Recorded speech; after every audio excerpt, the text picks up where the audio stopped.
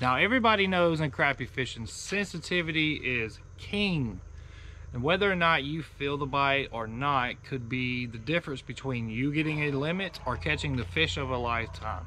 So in today's video, I'm gonna be going over a hack that can turn any fishing rod into a crappie fishing machine. Stay tuned. Before this video even gets started, before I show you how to catch more fish all year long, doesn't matter what rod you use, we are running a 20% discount sale on the website.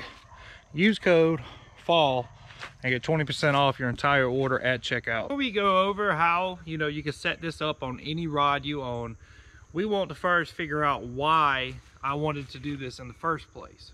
So what separates you from the fish? When you're fishing, you know, you're sitting there, you're winding in. What separates you from the fish? And that is your line.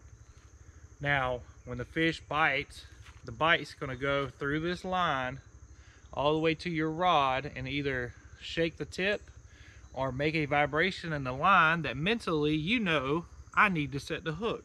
To show you, you can eliminate some of those steps by basically making it so you feel the bite faster. Thus, the fish doesn't have enough time to either spit it out or get a bad hook set.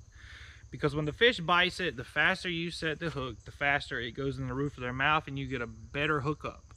You know, the more time that they play with it in their mouth, you could either jerk it out or hook it in the side or even hook it in their lips. And as we all know, a crappie has a paper mouth and you could end up tearing a hole. And if you give it any slack, the fish is gone.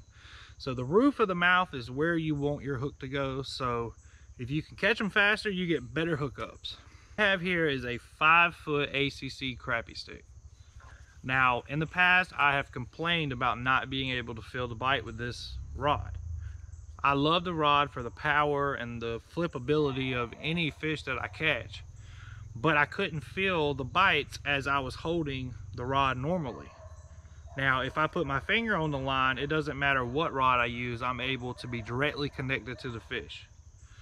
But as you're winding, you know, with the new swim bait, or with any jig like a twister tail or a little minnow, you know, the only way you can feel the bite is through this blank.